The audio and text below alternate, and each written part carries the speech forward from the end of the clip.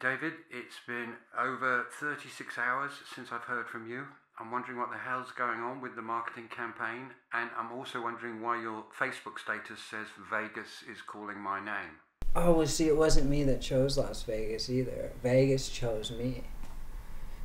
Vegas chose me. It reached out, and and it just kind of screamed and said, "New Year's, you're coming here. You're coming back, and we're gonna make this shit shine brighter than the Luxor. I couldn't resist that, man. Could you deny Vegas screaming for you?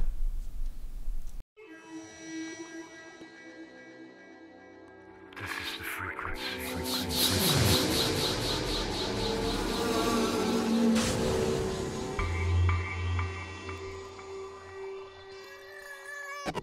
frequency.